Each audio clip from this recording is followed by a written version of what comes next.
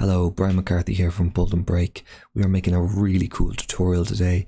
We're making this alien warpy-like substance. Kind of looks like something from Stranger Things. Great thing is there are no plugins needed for this. It's all native to After Effects. So now you can gloat to your friends, designer friends, whoever you want, that you made this without any plugins because the most important thing about being a designer is, yes, gloating. A joke, of course. Let's get started. Um, so we want to create a new composition, uh, control N, call this blend comp. Uh, these settings are fine. Again, it's kind of dependent on the length that you want. We're gonna, you know, keep everything neat, put our blend comp into main. And because this will be a pre-comp, catch that, put it into our pre-comp file. So we're now in our blend comp. Let's close these two. Create a new solid, call it base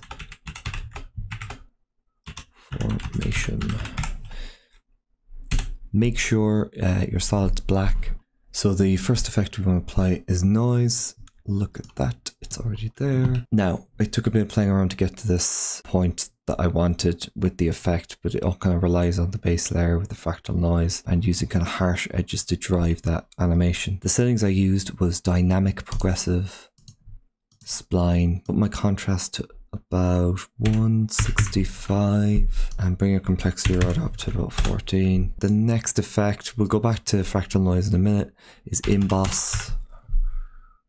Drop that on there. This is this is really cool because you can you can start to see what's forming and where this comes from. We're going to put up relief to 0.8 and our contrast to 200. So you can see these, if I zoom in here, you can see these bumps starting to emerge, kind of like, you know, a, a depth map or a bump map in 3D. The next effect we want to add is find edges. And you really start to see what's going on.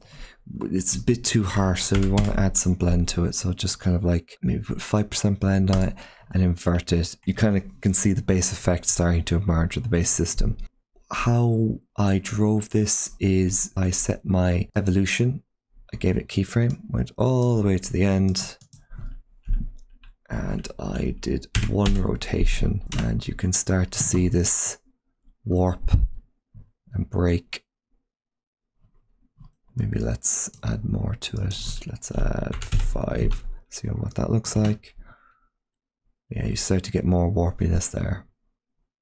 Um, and they were three very simple effects used with each other to kind of start to make this come to life. Just to kind of add some more variance to the movement, uh, I scaled this up to about 200. So I moved this up to the top. Let's go zero. And I started to move this down very slowly. Don't have to move it the whole way. You could it just adds a little bit more layer a bit more movement. And you wouldn't usually do something like this but it's kind of a sickly movement anyway. So you kind of have to make it feel nauseous because it's liquid and it, there's kind of a bit of inertia to it and it's kind of caving in on itself and it's it's meant to be kind of you know gooey in, in the movement. And you kind of start to see the effect. Let's add some more movement to it all the way down. And you really start to see it come to life. Now, we need to add kind of atmosphere to this. Uh, control Y for new solid. Call it particles. There's a lot you can do with the particle systems in After Effects. I'd encourage you to you know, maybe have a play I wouldn't use just the particle systems on its own in After Effects. I'd apply effects on top of it, like turbulent displace. You'll start to see what I mean in a minute. Um, so we have our particle system here. You know, it looks garbage. So what we want to do is we want to start playing with these settings and we want to understand what we're doing because that's important too. Um, first things first, let's change the colors because they're mank. Um, we're going to go maybe a dark bluish. Let's go with grey, uh, bluey grey. So the producer of the particles basically is so it's where the particles are emitting from. And what this does is this is imagine there's a box in here and you can give the particles a lot of room within that box. You're giving it like this kind of like space, a container, if you will. So we want to bring that up. Let's do 120, 150. These are just guessing. It can be, you know, it can be a one by one. It, it doesn't have to be that.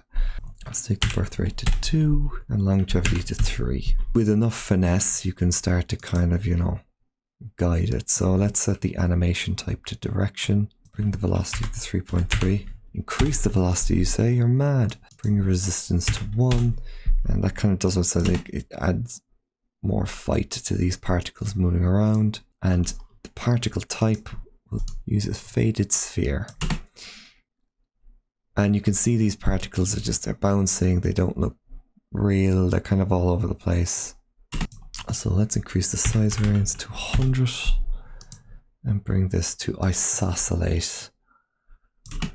Kind of get to start to see interesting stuff. Uh, birth size to 0.2 and death size 2.2. That will bring down the size of the particles. Let's increase our max capacity to 100 and that means we can kill off some of them sooner. So they're, they're quite bouncy and all over the place. Let's have a play with some other settings. Bring our gravity to zero. What that has done pulls the particles back down from the producer. So if we put that to 10, our particles are going to kind of like, they're going to fly all over the place. They're going to come down quite fast you know, if we put that to zero, there's no gravity in the scene, so they just kind of emit upwards because there's nothing to pull them back down. It's it kind of does what it says. It doesn't look great here, but as we start to treat this and stylize this a little bit more, you start to see it looking uh, kind of more natural and kind of more like nature, or you know, like particles would work in the atmosphere. So we're going to add a little bit of noise just for style, not sea noise, just noise. So drag your noise onto there. It's up to you kind of how you play with this. You could go 100. I think what this does is it just, oh, of course, untick color because we don't want that. Adds a bit of like dust and variance to the particles. It's not needed if you don't want it or if it's adding time to your render. I never did this with uh, particle systems before, but I used a tile effect. Um, I used CC Tiler and I brought I kind of half this. Start to see the particles uh, operate smaller. And the, the nice thing about using something like CC Tiler for this effect, so you've built out this system, I could just go in and, you know, create more particles and play with this. But if I have a system I'm liking and I just want to scale it up and down and add variance to it, also using something like CC Tiler will reduce your render time if you want to add more particles to the scene and your system can't handle it. It's a kind of a quick way of adding more stuff because it just tiles the effect. Now, the next thing we want to do, pre-compose these. And to pre-compose this, hold shift and shift control C. Uh, call this your base comp. Now we have our base layer driving this animation what we want to do is we want to start stylizing it and seeing what information we can pull from this.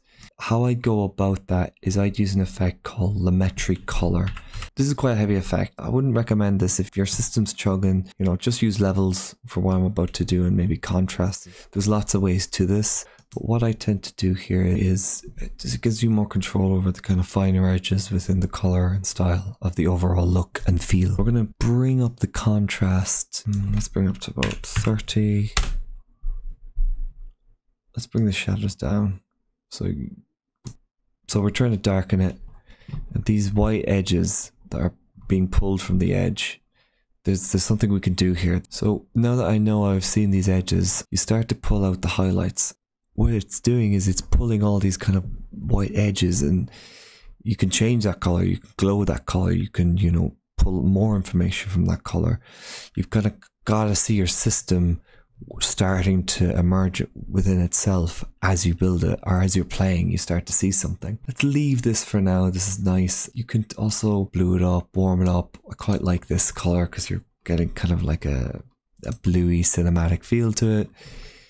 Maybe darken the whites just a little bit.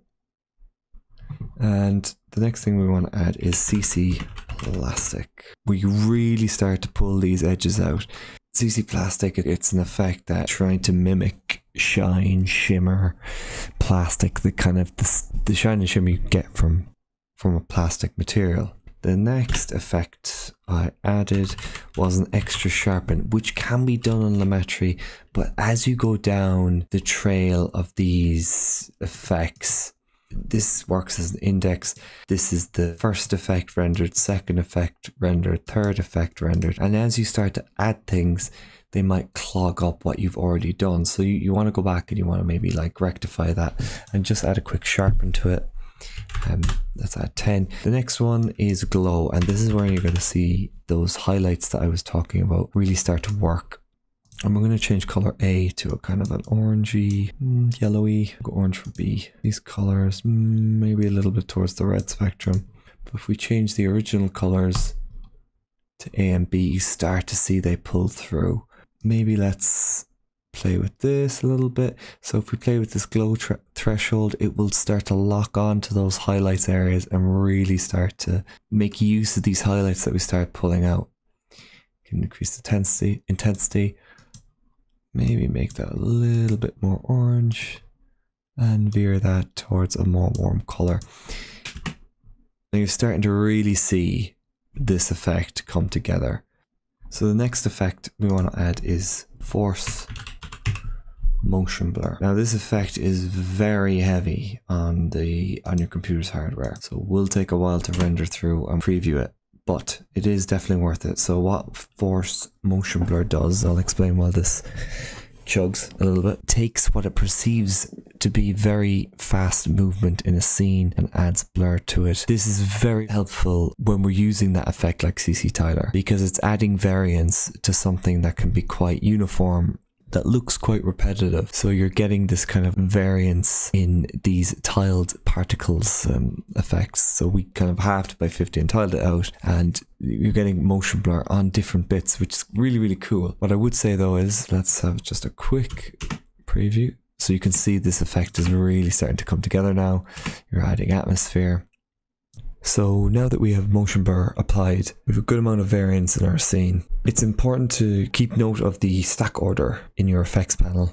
The reason being is you can lose some quality or some realism or some sharpness or if a certain effect is not rendered first, you might lose kind of the power that uh, that effect has to offer. So let's move our CC Force Motion Blur up the stack. Now let's move it there because it makes sense that it's first effects rendered as there's a lot of movement in the scene anyway. We want to keep our sharpen below CC plastic. So now that we have our stack ordered in a place where the effects are working uh, within our favor or how we want them to work, we can add this camera lens blur. This will give us that kind of cinematic look that there's kind of defocus and focus coming into the scene. And if you pump this up, just be aware this is a heavy effect. Uh, you can kind of get something similar with Ga uh, Gaussian blur, but you get these really nice bokehs, these kind of fireflies here in the scene. So let's keyframe that at 25 and let's go up to we have a second and bring that all the way down down to 10 and like maybe just come up a little bit more like it's just trying to focus in and come down and you get that really nice kind of like the scenes merging. Kind of leads you in.